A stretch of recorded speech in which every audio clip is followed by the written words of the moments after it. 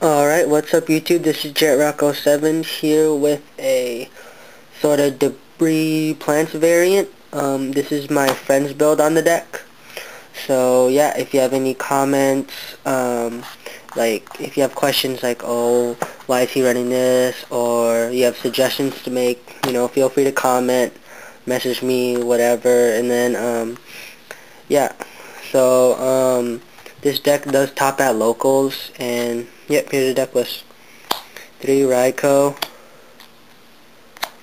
2 Debris, 2 Lone Fire, 2 Battle Fader, 2 Caius, 1 Thunder King, Glow-Up Bulb, Plague, Morphing Jar, Quick Draw, Snowman, Tytannial, Hamster, Trooper, Crow, Spore, and Dandy, and Effect Veiler, and Sangan.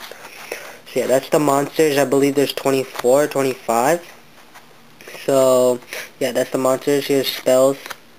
2 Pot of Avarice. 2 MST.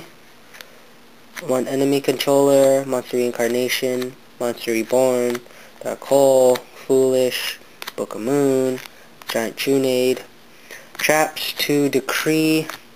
Um, I'll say something about the decree. I don't really think degree or decree is great since Book of Moon is now at one. There's not really enough um, defense for like a uh, debris plants with um, Book at one. So I think uh, he should like take out the decrees for like Torrential, Mirror Force, or Solemn Warning, or Deepens or something. So yeah, two bottomless and a compulsory but yeah, that's the deck list. Um, comment, questions, suggestions, um, whatever. Uh, you might see this deck if you go to like the Seattle Regionals coming up this Saturday. But yeah, uh, yeah, because we live in Seattle, so yep, that's the variant on Debris Plant. Thanks for watching. Uh, rate, comment, and subscribe. Peace.